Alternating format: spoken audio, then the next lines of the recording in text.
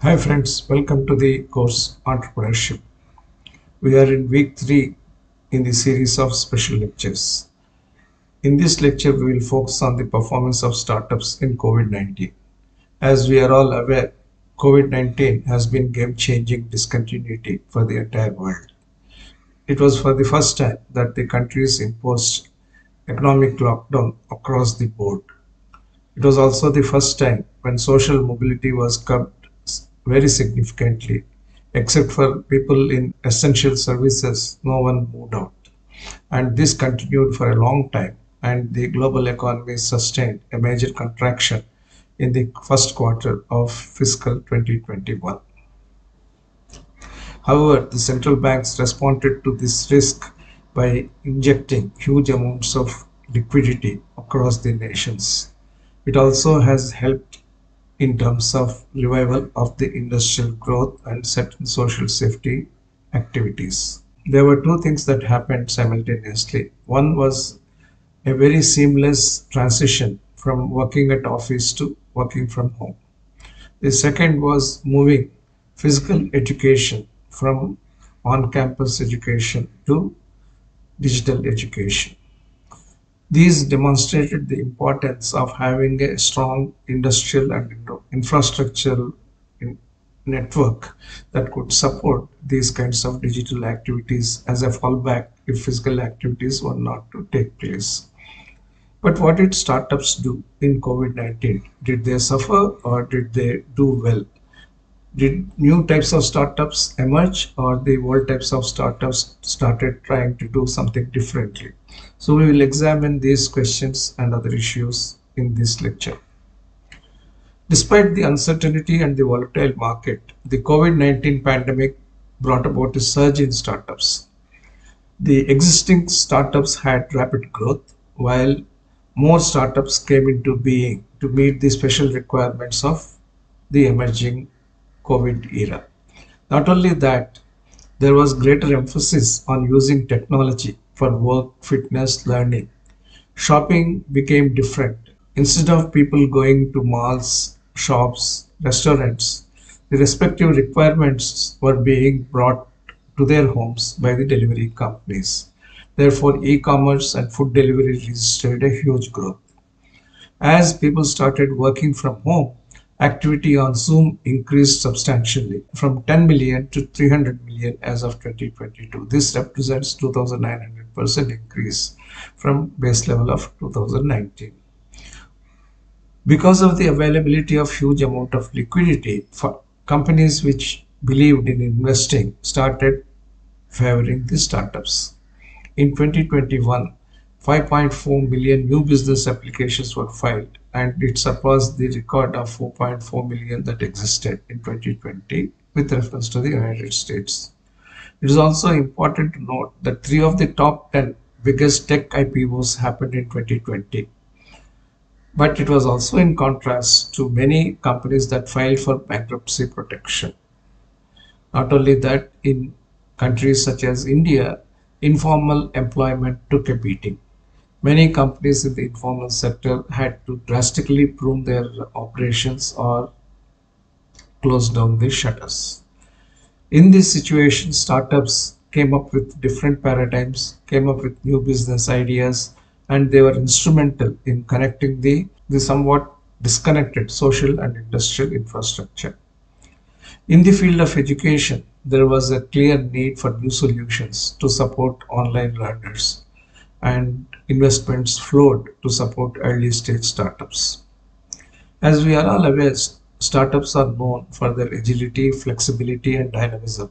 So, given the kind of crisis situation that was brought about by the COVID 19, it was to the credit of startups, they continued to maintain their inherent innate characteristics, but also improvised on them further to meet the challenges that occurred. There were several startups, of course, which were deeply impacted by the pandemic because the overall sectors themselves got deeply impacted. Travel and tourism, beauty and fashion, automotive, agri-tech and new food, artificial intelligence and big data, social media and messaging, gaming, blockchain and crypto were impacted by the pandemic to the extent of 14% to 70% in the negative. But that doesn't mean that there were no new startups that were coming up. So I take the example of five successful Indian startups which got established during the pandemic. Chip Junction was a startup which was founded in August 2020 with the sole purpose of enabling consumers order homemade meals and it provided a platform for home chefs to make a living. Great Easy was a startup that was established in June 2020, almost after the lockdown started, to enable education institutions to conduct online examinations at a very, very nominal fee of rupee 1 per exam. Custcart started in June 2020 and started selling merchandise like t-shirts, caps and hoodies to corporates and institutions, especially those located in small towns. Felicity was a company that was based in Jaipur and it helped people access mental health therapy through online video counseling at an affordable cost. We should recall that the ferocity with which COVID 19 spread and the kind of restrictions that were imposed with equal uh, enormity has resulted in a kind of mental crisis for several people who had delicate mental systems. So, this startup tried to provide succor to those kinds of people. Shop, the actual name is uh, Deep's Shop is an e-commerce platform which got established in August 2020. The Jaipur-based digital marketer claims to be the one which is making profit already, having slow but steady rate of 500 orders per month. There are also five uh, public safety startups that got established during the pandemic. In Nigeria, this a startup called Arone provided eco-friendly delivery solutions using autonomous drones. This startup offered aerial logistics services for clinics, hospitals, laboratories, and other medical distribution centers. When physical transportation became rather constrained, supply through drones became important and vital for keeping the healthcare system moving. A startup in Norway called EpiGuard developed and manufactured medical equipment for the safe transport of contagious patients. EpiShuttle is a medical isolation and transportation system which was intended for use in both high-risk scenarios and in everyday practice and it helped uh, the hospitals as well as homes deal with resistant diseases or other contagious viruses that require maximum attention and maximum quarantine. Health Code is an Estonian startup. It provided physicians with support in detailed daily patient management by using artificial intelligence diagnostic platform to pre-evaluate the patients. An Indian company called Epimetrics offered an analytics-based system that detects impending epidemic outbreaks in real time. Obviously, some of these are not merely for COVID-19. They have got long-term sustainable so solution provision capability. Chinese startup Eva Robot provided an autonomous pavement cleaning robot. It follows a preset route. Automatically, efficiently and accurately it sprays, disinfects and cleans the targeted space. So you can see that COVID-19 related specific startups also came up globally during this period. While several sectors experienced a downward curve in revenues and profits, there have been six segments that saw major growth during the pandemic. One was social connectivity, both for individual connections as well as for office connections. Zoom, which was a pioneer in this segment, saw its total revenue of more than $4 billion, registering a growth of 50% year on year. There were several other companies which got into the enterprise meeting platforms. Cisco was a leader with its WebEx already. Microsoft Teams has fine-tuned its Teams platform, whereas Google came up with Meet platform. Similarly, when the movie theaters were shut, multiplexes were shut, people had no option other than go to OTT to have their favorite shows streamed. So online streaming services such as Netflix, Disney, Amazon Primes registered major growth during the pandemic. Just as a measure, Netflix added over 25 million subscribers in the first half of 2020. Similar was the number from Disney Plus Hotstar. 30% growth of the subscriber base was achieved. Another important activity that uh, increased substantially was the online gaming industry. It witnessed a boom in 2020 and after that there has been only an upgrade for the sector. Investment in the gaming sector also increased substantially, 108% to $443 million in calendar year 2021 and that was significantly higher than the 213 million that was there in calendar year 2020 so about 100% increase has taken place in, in in the investment in the online gaming industry there have been three other segments that saw major growth one the indian e-commerce market including the food delivery market registered significant growth as shown in these two data parts the e-commerce sale is expected to grow by 20% to 30% as we go forward. Similarly, companies such as Urban Company dealing with the aggregation of home services uh, and also food delivery startups such as Zomato, Swiggy and grocery startups such as Big Basket gained maximum growth during the pandemic. The best monthly sales was ever achieved by Zomato in December 2020. As a result, it could happily go to public in July 2021 with an IPO that was worth over 90 billion Indian rupees. There were several startups in the online education which received considerable traction. Unacademy and Vedantu in EdTech achieved a valuation of over $1 billion. In the fintech space, Razorpay Pine Labs and the stockbroking area Zerodha achieved significant growth. SaaS, that is software as a service, emerged during the pandemic as one important pillar of growth. And within the overall uh, startup ecosystem, Byju's, Paytm, Swiggy, and Oyo made it to decacorn status. There have been specific innovations to fight COVID. Government also has chipped in to encourage startups which will focus on COVID-19. The Startup India program activated an open innovation challenge to target innovations from startups, MSMEs, corporations and individual innovators across multiple challenge areas such as personal, protective and critical care equipment, large area sanitization, crowd tracking, logistics and face use detection. Before COVID-19 came in, Practically, there was very little manufacture of personal protective equipment in the country. As our Prime Minister Narendra Modi ji would say, after COVID-19, the industry reconfigured itself so fast and the startups and MSMEs rose to the challenge so well that India has become one of the largest producers of PPE in the world and began exporting those products as well. Similarly, the smaller companies have shown greater agility and greater dynamism in meeting the requirements for new age of sanitization. The new sanitizer products as well as the face masks were brought in by the MSMEs and the startups rather than the established companies.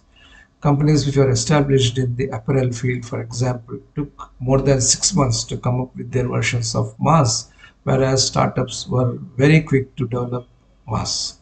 So this is an important uh, pointer to the dynamism that startups can bring to an economy or an industrial network. The accelerating growth of New India's innovation Agni has been one of the nine missions of the Prime Minister's Science and Technology and Innovation Advisory Council. This council is tasked helping in the commercialization of innovative technologies and it has been engaged in building a portfolio of technologies that can support the fight against COVID-19. Similarly, there was another financial investment or initiative as we may think about it. The ACT grant initiative was a 100 crore rupee grant fund that was set up by venture capital and startup founder community in India and that has become one of the channels for stimulating startup innovations to fight COVID-19. Debt financing also got a leg up through the Small Industries Development Bank of India. Invest India partnered with SIDBI to be able to fast track applications to the various such as SAFE, SAFE Plus and SMILE. These were the schemes specially set up to help small and micro enterprises as well as medium enterprises have investment financing and emergency working capital requirements during the tough times of COVID-19. These are some of the innovations that happened during the COVID-19 pandemic and these were all through the startup route. Think CR, uh, Thincr Technologies in a way to spell is a Pune-based startup in collaboration with Technology Development Board of the Department of Science and Technology. It developed a special kind of cost-effective 3D printed mask that is coated with antiviral agents known as virucides.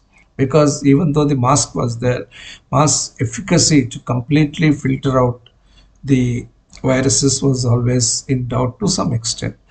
Coating the mask with antiviral agents provided additional uh, protection.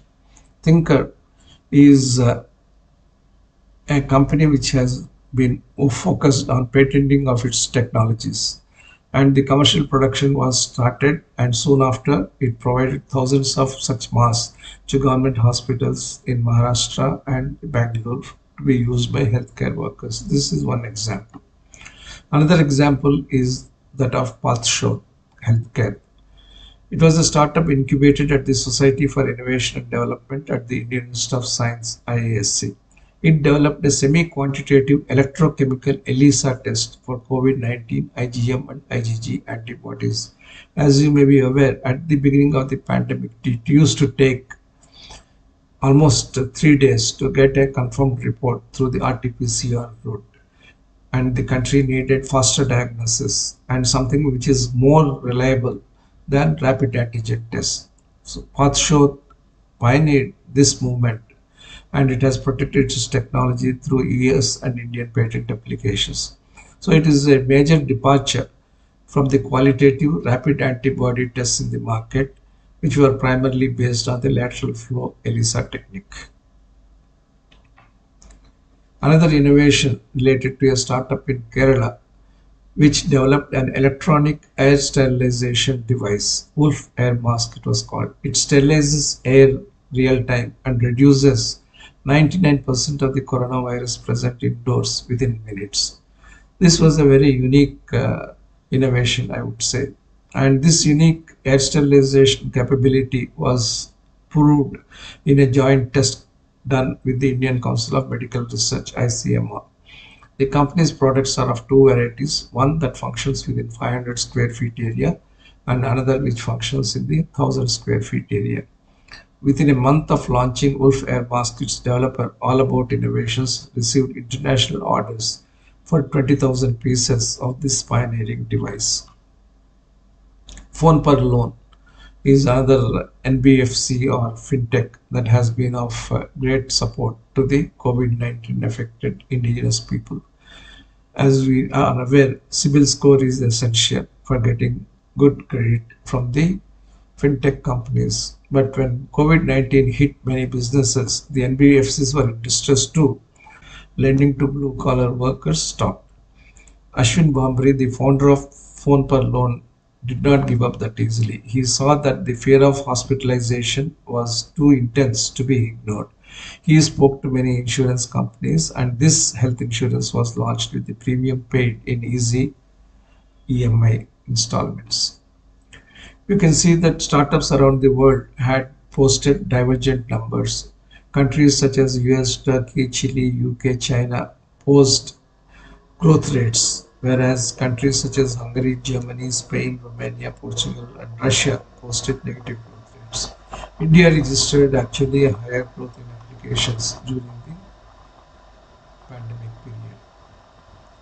The healthcare technology in particular led the way in the pandemic. There have been 7,128 health tech startups in India that are leveraging cutting edge technologies to help the government fight the pandemic. Bangalore based startup Bione has developed a genetic test using predictive analysis tools to check every individual's immunity against the virus. The logic is if you know whether you are having a robust inbuilt immunity, you will be able to fight or ward off the virus Whereas if the individual has lower immunity, the individual must take additional precautions, including timely vaccination to be able to fight against the virus. So this was one aspect of ensuring public safety and patient care. Patient care also came to the forefront in terms of many significant directly supportive startup solutions. Artificial intelligence, biomedical engineering, 3D printing, nanotechnology, and robotics have helped startups to come up with machine learning solutions so that the spread of COVID-19 could be accurately predicted and the waves themselves were modeled and provided as healthcare inputs to the systems of the government of India and various other countries. ACT, Action COVID-19 team is a collaborative effort led by leading entrepreneurs and venture capitalists. And this team was supported by state governments and other stakeholders so that several homegrown health tech startups could be established to combat the pandemic. So ethereal machines, max ventilators, Molbio and Karkhana.io are four companies which have done interesting work in this area. Ethereal machines and max ventilators were backed by the Telangana government to manufacture and deploy portable ventilators to the army and COVID wards. In fact, ventilators is one area which demanded strong attention by companies because in India we don't have even in the ICUs one-to-one -one correspondence between the bed and the ventilator in most hospitals. The leading corporate chains may have that kind of uh, ratio, but many other hospitals don't have. And COVID was a disease which was impacting the lungs very much in its first uh, wave. And it required uh, hundreds and thousands of ventilators to be manufactured at short notice. The startups uh, people along with the established companies collaborated to develop those kinds of ventilators and provide crucial life support. The healthcare startup Molbio developed portable and battery operated RT-PCR machine to scale up India's testing capability, whereas Karkhana.io deployed 3D printing, injection molding, machining, fabrication and design facility to produce personal protective equipment. There was also an importance accorded to mobility startups during the pandemic because social movement was curbed, social distance was required, with schools shut down, with the offices uh, moving to work from home paradigm, there was no need for transportation at all. But at the same time, everybody also needed transportation. So startups were established to be able to provide COVID-19 resilient mobility as a service.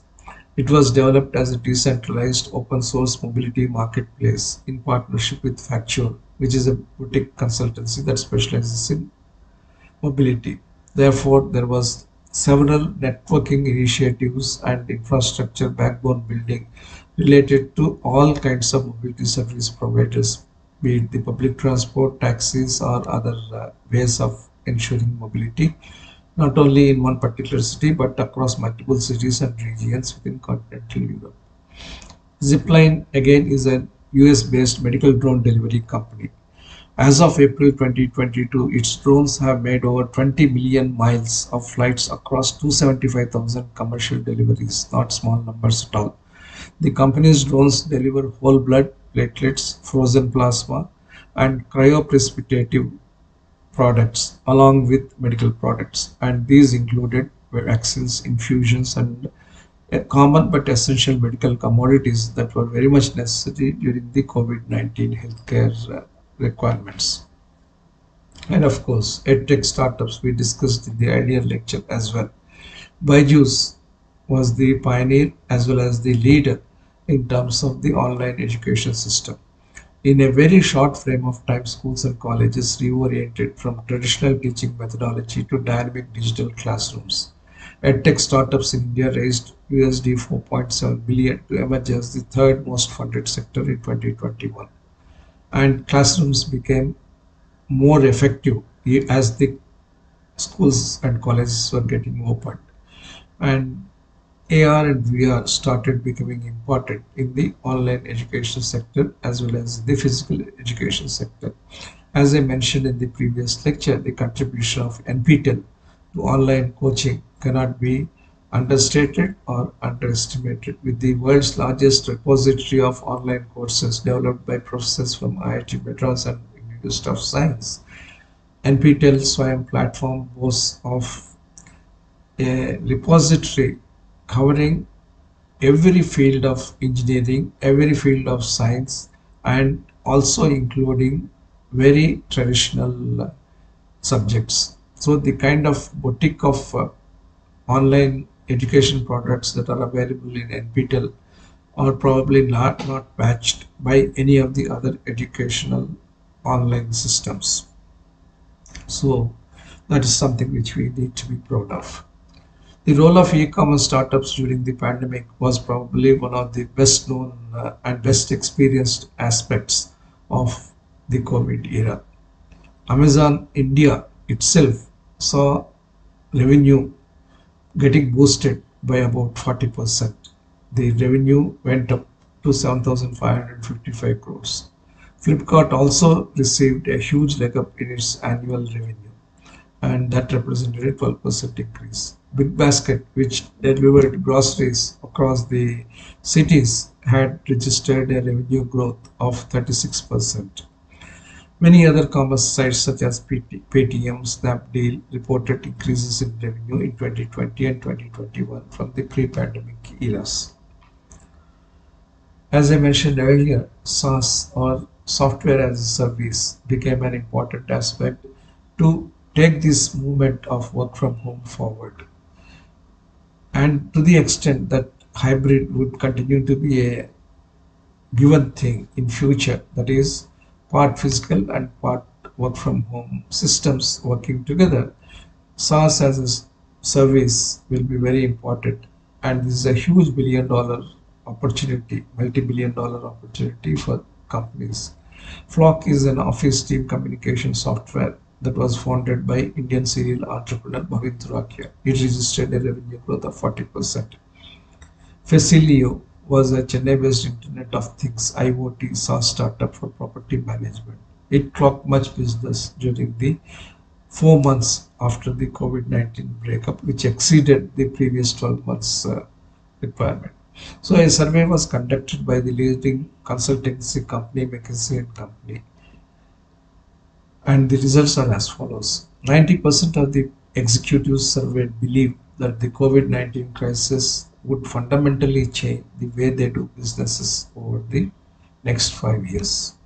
85% of the people surveyed are concerned that the COVID 19 crisis will have a lasting impact on the customer needs and wants over the next five years. That is, discretionary items would reduce in the demand and essential items like consumer staples would go up in demand.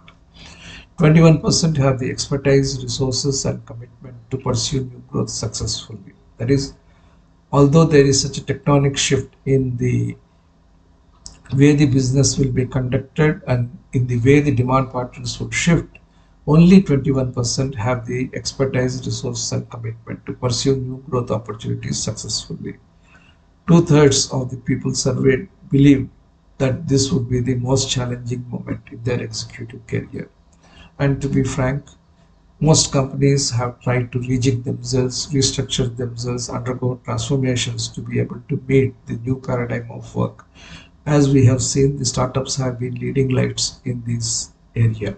And of course, today the world is opening up at different uh, levels of opening up and this has led to a splurge in uh, the old ways of doing business but we do not know how long this kind of uh, revenge buying or revenge travel would uh, stay as a new trend and oh, eventually there would be a kind of settlement around the hybrid model of demand as well as hybrid model of supply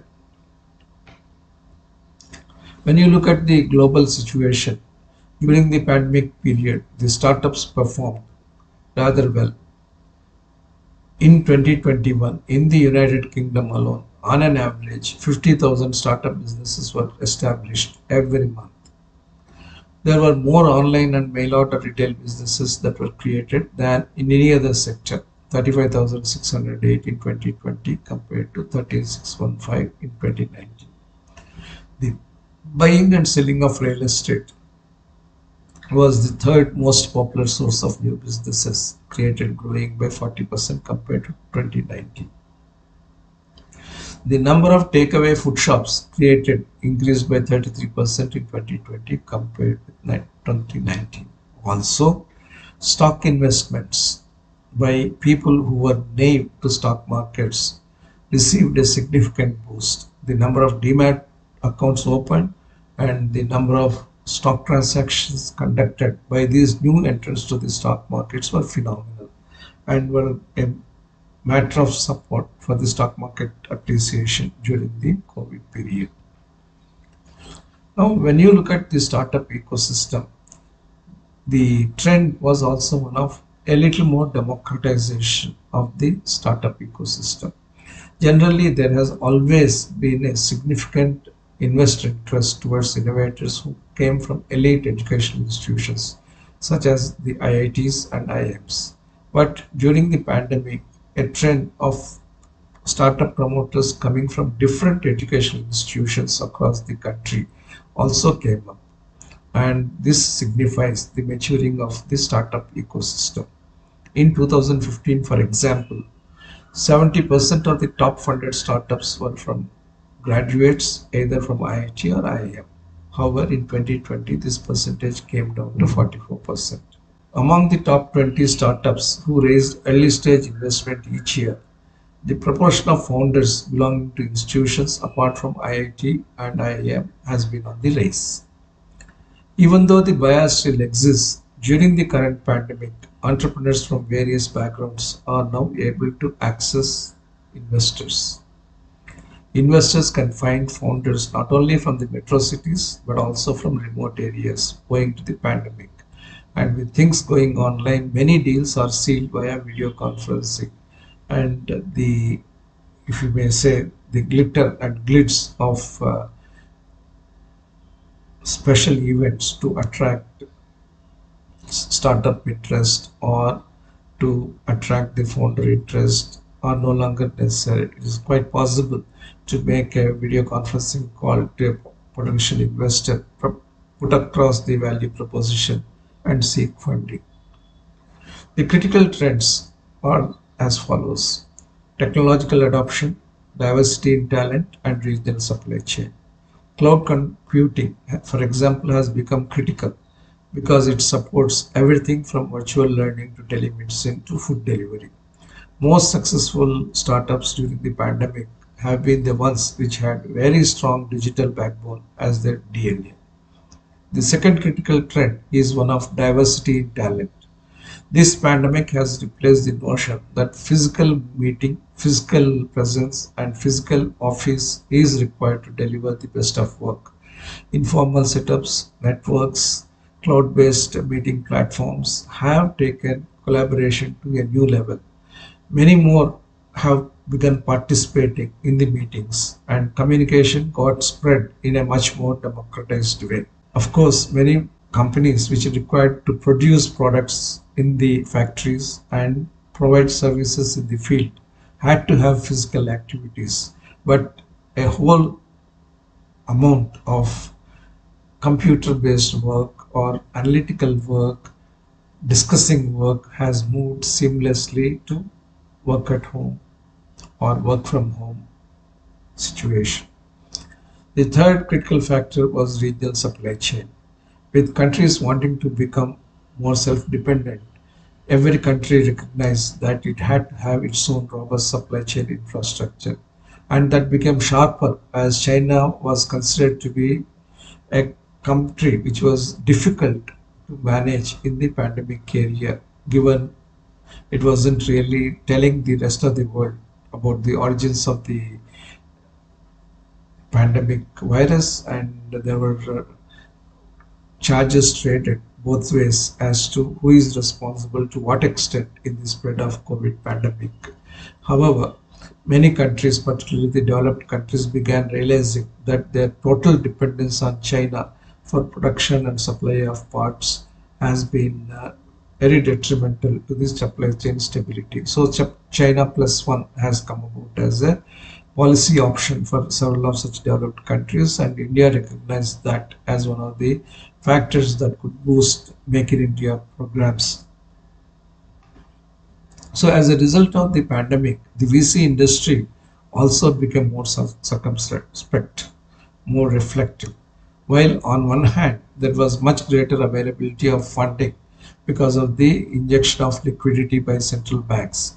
There was also a concern that was emerging, which finally got its roots in 2022, that the business models are as important as the ideas are, as important as the market presence and market share.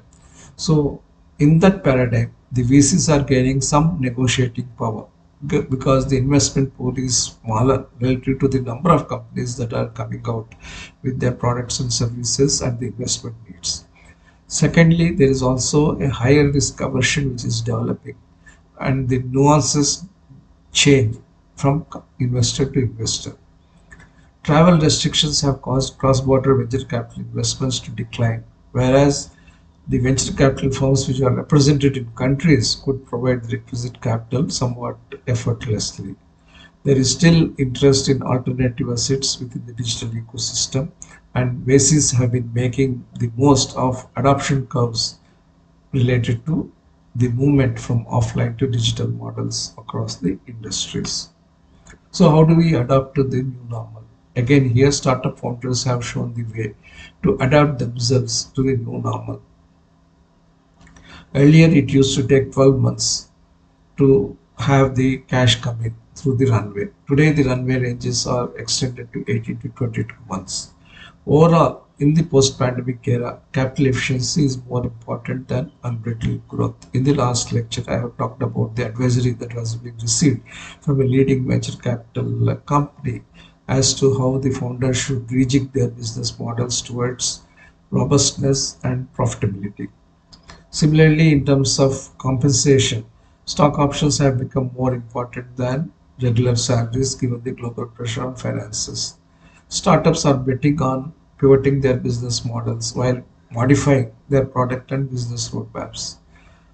And there is a cautious approach because some of the more daring and strategic decisions are getting postponed.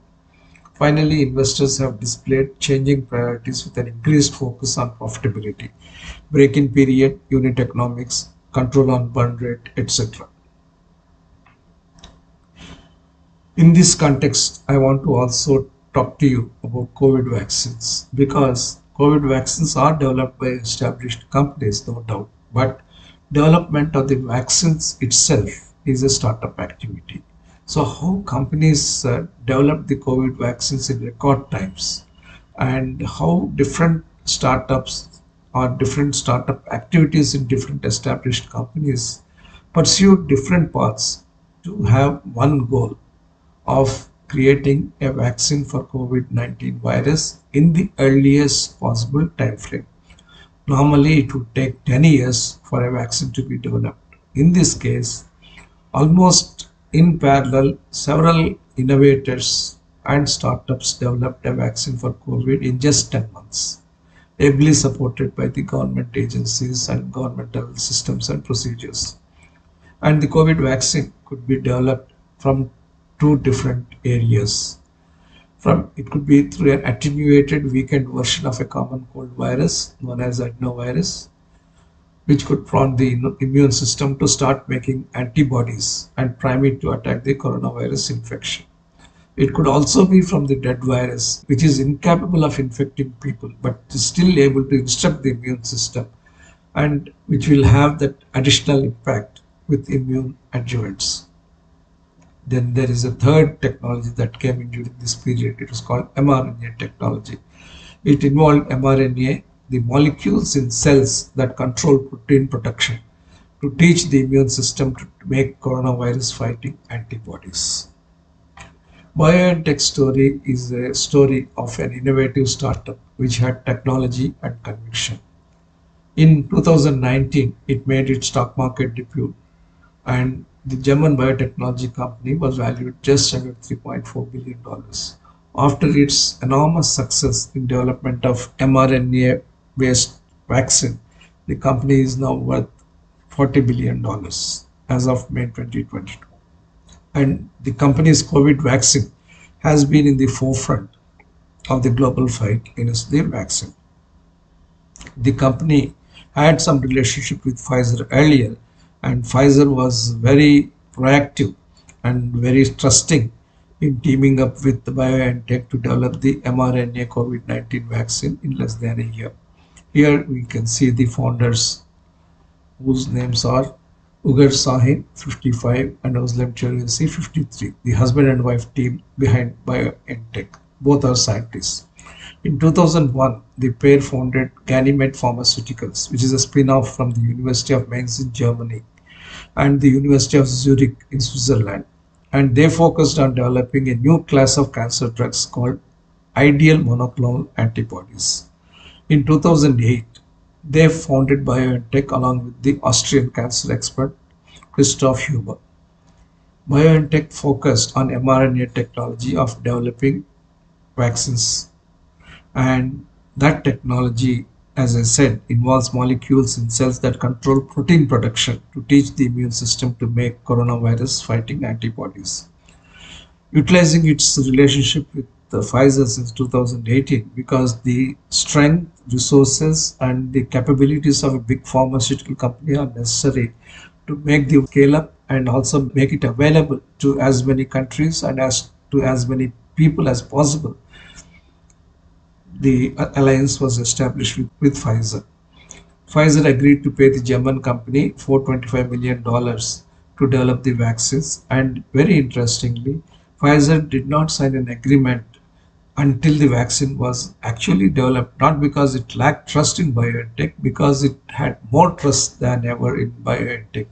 They felt, both the companies felt, that it was important to develop the vaccine rather than get caught in the nitty-gritty of negotiating an agreement. So it is a kind of uh, courage, foresight, forethought, and above all, trust in each other's technical and uh, leadership capabilities to be able to get that paradigm to develop a startup vaccine. Covaxin is another story which makes Indians proud because it is a vaccine developed wholly indigenously in India through a combination of ICMR, Indian Council of Medical Research, National Institute of Virology Pune and biotechnology company Bharat Biotech. These institutions collaborated to develop Covaxin and Covaxin is an indigenous vaccine which is based on whole virion inactivated Vero cell derived platform technology. These inactivated vaccines do not replicate and therefore are unlikely to revert and cause pathological effects. As I said, this is one of the three systems available. This system is one of dead virus, incapable of infecting people, but capable of instructing the immune system to mount a defensive reaction against an infection. It is also combined with immune potentiators such as the vaccine adjuvants, which are added to the vaccine to increase and boost its immunogenicity. It is well established and time tested platform and it is also a platform which produces vaccines to conditions that are suitable in a country such as India. So it is available in a ready to use liquid presentation in multi-dose vials and stable at 2 to 88 degrees the normal refrigeration temperature. Whereas Pfizer BioNTech uh, vaccine required an unusually low grade refrigeration temperature of minus 75 degrees centigrade. So Covaxin is a product that was suitable for India. We are talking about Covishield here. Covishield came through the Oxford vaccine story.